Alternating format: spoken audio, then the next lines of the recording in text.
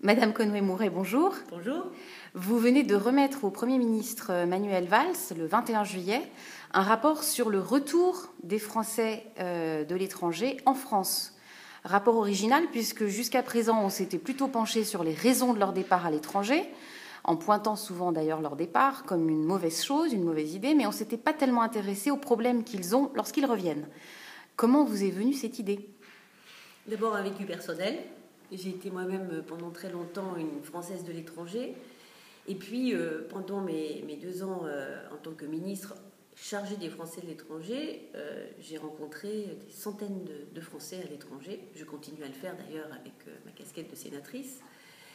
Et ceci, parmi les préoccupations qu'ils pouvaient avoir localement, que nous essayons de résoudre, exprimait ce thème récurrent du retour c'est, euh, je crois qu'il y a départ, mais il y a aussi retour. Et il y a une angoisse du retour. Il y a une angoisse du retour qui est basée sur, un, un manque d'information. Il est très difficile à partir de l'étranger d'obtenir des réponses aux questions qu'ils ont. Et donc de se retrouver finalement à, préparer ce, retour, c'est le, cas le, plus probable, euh, et puis d'avoir tout à faire en arrivant en ne sachant pas à quel guichet s'adresser ou en s'adressant à des personnes qui n'ont pas forcément les réponses parce que ces Français sont français, bien sûr, et c'est là tout le paradoxe, mais n'ont pas à, leur disposition euh, notamment un certain nombre de documents qu'on peut leur demander. Et donc ils se retrouvent euh, dans une, galère, euh, c'est le terme qui a été utilisé par beaucoup d'entre eux, parcours du combattant, qui leur prend des heures d'engagement, de recherche, de prise de rendez-vous, avec beaucoup de frustration parce qu'on ne leur donne pas de réponse et on les renvoie vers un autre service. Et je crois que pour ces Français qui rentrent, on pourrait se passer de cela parce que euh, dans le rapport, et j'ai essayé de, le démontrer parce que nous avons eu un, grand nombre de réponses, euh, il, y a eu, il y a énormément de frustration, il y a ce sentiment d'être français, de ne plus être reconnu comme français alors que tout ce qu'ils veulent, et tout ce qu'ils demandent, eh bien, c'est d'avoir une égalité des droits avec leurs compatriotes. Alors c'est vrai que vous avez fait un travail de fourmi, plus de 7600 témoignages que vous avez disséqués, épluchés et regardés avec beaucoup de considération, en prenant en compte chaque témoignage. Hein. C'est pas, pas pas seulement des questionnaires choix multiples euh, avec des statistiques. Bon, il y a une partie statistique, mais il y avait aussi des, témoignages de, de, vécu que vous avez cités dans votre rapport, ce qui le rend très vivant et euh, très réaliste. Donc vous vous appuyez sur euh, la réalité. Euh, qui est parfois un petit peu difficile au retour parce qu'il n'y a pas un guichet, mais il y en a plusieurs. Il y a plusieurs questions hein, qui se posent le logement, l'emploi, euh, la protection sociale, donc euh, la scolarisation des enfants. quelles difficultés majeures avez-vous identifiées d'abord? Alors, c'est vrai que j'ai souhaité une consultation participative. moi, ce que j'avais récolté au fil de, de mes rencontres, c'était des anecdotes. Et malgré les profils différents, chaque euh, personne qui est partie est partie pour des motifs euh, euh, personnels et revient en France pour des, pour des motifs aussi qui sont personnels. Et ce que, ce que je souhaitais, c'était baser des propositions sur l'expression des besoins et des attentes de ces Français. D'où, en effet, la consultation mise en ligne d'un questionnaire. Quand nous sommes arrivés à ce chiffre, en effet, que vous venez de, de citer euh, assez important, nous nous sommes dit qu'il fallait arrêter euh, et, stopper le, questionnaire. On aurait pu le laisser ouvert plus longtemps et obtenir 10 000, 15 000 réponses. Mais on avait déjà là suffisamment euh, de matière, de matière enfin un échantillon en tout cas suffisamment important pour être crédible. Et puis présenter des thèmes. Et on voyait bien que finalement, même si tous les profils étaient différents, les problématiques abordées étaient toutes les mêmes. Et celle-ci se résume en quelques-unes, en effet. La première d'entre elles étant le logement. Euh, il est très difficile à un Français qui vient de l'étranger, qui arrive de l'étranger, euh, de pouvoir prouver, sur la base des documents qui sont actuellement demandés, euh, sa solvabilité. Et donc, euh, la première proposition que nous faisons, c'est basé sur beaucoup de bon sens, c'est euh, de dire que, quel que soit le document qui soit présenté et qui prouve en effet que la personne est solvable, eh de faire en sorte que l'agence immobilière ou le propriétaire soit tenu de l'accepter. Il y a un blocage en France, euh, notamment pour la prise en compte de documents étrangers. Alors vous faites des propositions. nous faisons ces propositions-là. Et vous faites aussi des recommandations que les Français de l'étranger qui sont euh, qui ont l'intention de rentrer peuvent regarder. Hein, ils peuvent consulter votre rapport. Il est en ligne sur le site du Sénat. Euh, il y a 49 recommandations ou propositions, euh, puisqu'il y a déjà des choses qui existent, mais on ne sait pas forcément que ça existe ou c'est pas forcément accessible. C'est ce que je disais tout à l'heure, c'est-à-dire mm. que l'angoisse, l'inquiétude de ces Français est basée sur le fait de ne pas avoir d'informations, de pas avoir accès à de l'information. Et le fait de se retrouver parfois dans une impasse parce que euh, déjà la première problématique c'est de pouvoir se loger. Et quand on ne peut pas se loger et qu'on n'a pas la possibilité d'avoir une adresse fixe et de pouvoir présenter par exemple des factures d'électricité, ce qui sont euh, souvent demandées pour un certain nombre de démarches, eh bien on voit des gens finalement qui, qui se retrouvent euh, dans une impasse dont ils ne savent pas sortir, donc ils font appel euh, se retrouvent dans, faire appel à la famille, à des amis, et ainsi de suite, mais, mais quand même. Donc, nous étions tenus de, d'abord de, de, faire sauter ces blocages, et puis, dans un deuxième temps, de faire en sorte que les Français puissent avoir accès, un accès très facile à l'information dont ils ont besoin. Donc, ça, c'est la, première, enfin, une des, Alors, vous proposez euh, notamment de... principales. Une, qu'il y a un guide qui soit donné une checklist. au niveau des consulats euh, parce que là aussi, il faut inciter les Français à déclarer qu'ils partent. Mm. Euh, il n'y a pas d'incitation aujourd'hui à s'inscrire. C'est pour ça que nous avons 1 600 000 Français inscrits dans les consulats, mais nous savons très bien qu'il y en a 2,5 millions et demi, voire 3 millions à l'étranger, et c'est tout à fait normal. C'est une communauté en augmentation chaque année, une mobilité euh, qui, qui satisfait et qui attire les Français autant que d'autres, moins que d'autres d'ailleurs. Et c'est pour ça que quand on parle de fuite et d'exil, je crois qu'il faut regarder ce qui se passe dans les autres pays et au contraire euh, se satisfaire que les Français aujourd'hui soient aussi curieux que les autres, aient aussi envie de partir à la conquête du monde et de fait par leur présence à l'étranger, participent au rayonnement et à l'influence de la France dont nous avons besoin. Alors parmi les recommandations, parmi les recommandations il y en a deux principales, donc celle-ci, qui est euh, que les, un guide euh, pour préparer son retour. Absolument. Et puis le deuxième, la création euh, euh, d'une aide euh, interactive, individualisée, qui soit accessible sur Internet, comme cela est le cas aujourd'hui avec mon service public, mais qu'il y ait cet accès possible pour les Français de l'étranger. Parce que c'est difficile parfois de téléphoner. Il y a certains pays, les réseaux ne sont pas bien assurés. Ne, sont pas Ça coûte très cher. non, mais ne sont pas accessibles à partir de l'étranger. Voilà. voilà. Donc, alors, je crois qu'il y, a maintes choses qui euh, vont émaner de ce, de ce rapport. D'abord, une connaissance de cette communauté. Deuxièmement, des propositions qui vont faciliter en effet leur retour, leur réinsertion.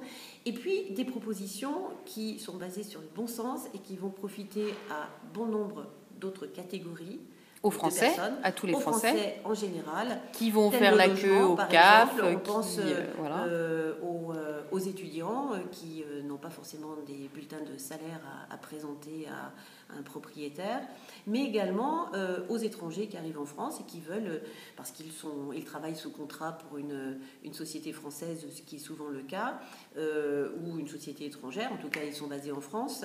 Mais ces étrangers, et hier j'ai eu un certain nombre de témoignages de cela, se réjouissent en disant enfin, si nos bulletins de salaire euh, australiens ou anglais peuvent être pris en, considération, eh bien, cela fera que euh, on n'aura pas les problèmes que nos compatriotes ont rencontrés jusqu'à présent. Alors, Donc, nous n'avons pas créé une catégorie spécifique, et ça, je veux bien insister sur ce point, parce qu'on a trop tendance à penser aux Français de l'étranger comme une catégorie de privilégiés. Ce n'est pas le cas. Euh, le terme d'expatrié euh, est attaché à un certain nombre de personnes qui, elles, sont accompagnées par leur entreprise pour leur départ. Ça fait partie d'un parcours professionnel qui est bien encadré, qui est pensé et qui est voulu, euh, mais qui ne pose pas de difficultés parce que les DRH, généralement, euh, s'occupent du retour comme elles se sont occupées du départ. Moi, je parle de la grande majorité des personnes aujourd'hui qui partent individuellement mmh. et qui ont besoin donc d'abord d'être reconnues euh, c'est pas parce qu'ils ont passé quelques années à l'étranger qu'ils ne sont plus français. Au contraire, ils reviennent avec un sentiment très fort de leur identité euh, qu'ils ont découverte parfois d'ailleurs euh, en se frottant. et qu'ils ont fait connaître à l'étranger. Qu'ils ont fait connaître à l'étranger. Ils reviennent, ils ont envie d'être sollicités, ils ont envie de faire des choses parce que ils se sont enrichis intellectuellement, culturellement, ils ont envie de redonner plein de choses. Et donc il ne faut surtout pas casser cette motivation au retour euh, avec des tracasseries administratives qui font que bah, pour certains, il est plus facile de repartir ou d'aller ailleurs que de rentrer en France. Alors le fait, le fait est que pour le Français d'étranger qui rentre, en fait, il se trouve à la tête de l'ensemble des tracasseries administratives auxquelles se collent tous nos concitoyens, mais étalés dans le temps, si je puis dire. Là, ils ont tout à faire d'un seul coup. Donc, ce que vous proposez, c'est le guichet unique, c'est le. Pire que ça, on ne le dit qu'une fois. Alors, oui, absolument. On, mais c'est pas, tout à fait. Bien sûr qu'ils ont tout à faire en même temps, mais euh, ce sont des, des, des, des problématiques quand même qui les touchent directement parce qu'ils ne, ne peuvent pas répondre euh, euh, et, présenter les documents qu'on leur demande. Oui, oui, il y a, y a, des problématiques qui les concernent. On, ne, peut pas, on, ne peut pas sortir de cette impasse-là si on ne change pas les règles et surtout qu'on soit un peu plus flexible, que l'on passe moins par le papier. Euh, que quand La dématérialisation, c'est absolument quand un document proposition été proposé, aura été rendu, et eh bien que ce document-là serve pour tous les autres services aussi et qu'on n'ait pas à le reproduire maintes fois, d'autant qu'aujourd'hui, et là nous avons un certain nombre de témoignages euh, qui nous disent que, euh, eh bien, on demandait à chaque fois une traduction pour un document étranger. Les traductions coûtent très cher, une traduction assermentée coûte très cher. Et euh, il s'avérait que ces traductions étaient souvent inutiles. Donc ce que nous proposons, eh bien, c'est en effet de se baser sur le numérique, de faire en sorte que quand une réponse a été apportée, il y ait euh, une reconnaissance de, la démarche et que euh, ça ne se fasse qu'une fois. Je crois qu'on gagnera beaucoup de temps. Les services administratifs aussi gagneront beaucoup de temps. Et je dois dire un mot quand même aussi sur l'administration, parce qu'il n'est pas question de la stigmatiser en disant qu'elle ne sait pas traiter les réponses. Ce n'est pas ça. Mais euh, de même pour euh, les personnes préposées dans les différents, euh, différentes administrations, elles n'ont pas les réponses à apporter. Et la frustration est dans les deux camps. Ceux qui posent la question et ceux qui devraient pouvoir apporter la réponse, mais qui ne l'ont pas. Donc, de la formation aussi. Il faut réactualiser pour les conseillers Pôle emploi qui existent pour certaines, mm. euh, tout un tas de textes qui ne sont pas très connus parce que quand les Français de l'étranger rentrent individuellement il ne se présente pas groupé, c'est-à-dire que le, préposé à une certaine administration euh, ne va pas donner la même réponse maintes fois. Il va falloir qu'il aille chercher la réponse euh, qu'on lui demande. Et il ne sait pas où la trouver. Donc on a besoin aussi de renforcer le volet international. Et puis, euh, et puis enfin, je crois d'avoir cette reconnaissance. c'est vrai que certains euh, sont, sont amers, sont, euh, euh, ont exprimé, étaient contents d'être écoutés. Voilà, c'est aussi un point très important qui est ressorti de, cette étude parce que nous avons eu 7000 questionnaires, plus de 2000 commentaires écrits, contributions écrites.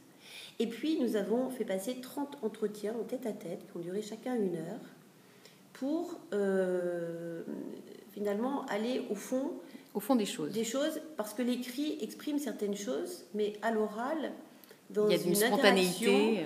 Euh, les choses sont dites euh, avec des sentiments. Voilà.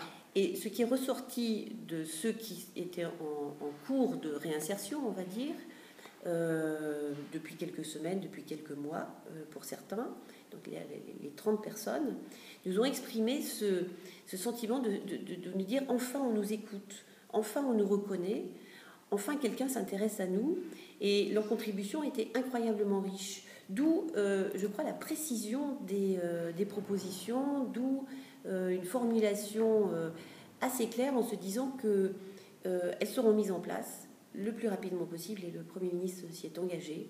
Euh, et d'ailleurs, vous proposez euh, la création d'un coordinateur interministériel pour gérer ces questions, puisque c'est transversal à plusieurs administrations.